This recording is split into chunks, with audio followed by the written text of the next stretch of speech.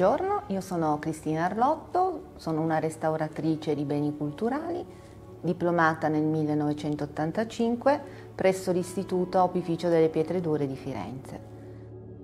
I musei reali mi hanno affidato il restauro di un numero piuttosto consistente di urne cinerarie del secondo e terzo secolo avanti Cristo e hanno comportato ovviamente un'enorme attenzione per quanto riguarda il recupero in laboratorio. Questo progetto è stato ambizioso e la problematica iniziale è stata proprio il trasporto di tutte le urne perché alcune di dimensioni piuttosto grandi, eh, pesanti perché il materiale lapideo Altre invece in materiale in terracotta di dimensioni anche più ridotte hanno comportato un'attenzione diversa.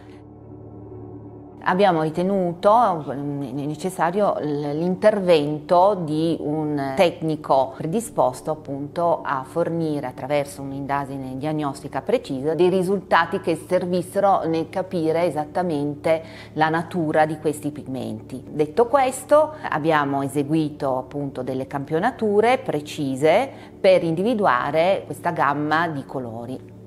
la novità assoluta che è apparso in superficie il blu egizio, molto raro e ha dato risposte che attualmente non erano ancora emerse anche da precedenti interventi di restauro, anche perché queste urne in passato avevano già subito un primo intervento di restauro, ma che non aveva messo in luce certe caratteristiche proprio di costruzione e di utilizzo di colori particolari per quanto riguarda la policromia in superficie. Durante appunto questa campagna di indagine diagnostica è emerso soprattutto su un reperto un piccolissimo frammento di doratura che inizialmente si pensava fosse solo esclusivamente un'applicazione di un colore rossastro